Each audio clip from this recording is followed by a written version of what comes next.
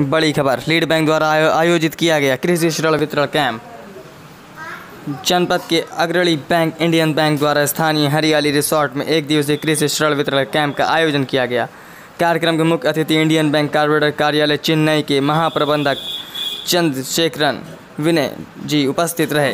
कार्यक्रम में परियोजना निदेशक प्रेमनाथ यादव जिला कृषि अधिकारी Satish Kumar Pandey DDM NABARD Shri M P Barnwal के साथ साथ मंडल प्रमुख इंडियन बैंक रविंद्र सिंह, अग्रणी जिला प्रबंधक अमित गौरव सहित मंडलीय कार्यालय के अधिकारी, कर्मचारी व अन्य संबंधित मौजूद रहे।